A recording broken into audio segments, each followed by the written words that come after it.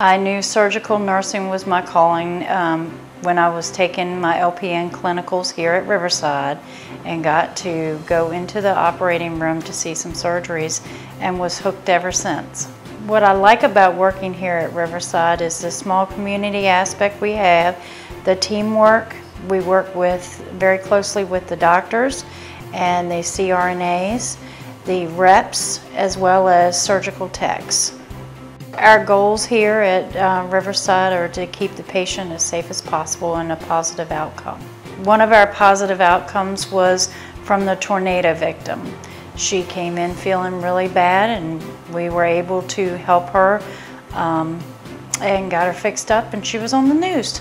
Anyone looking to come into this field, the advice to make sure, first of all, that you like what you do. Um, and no, no, it's not for the weak at heart.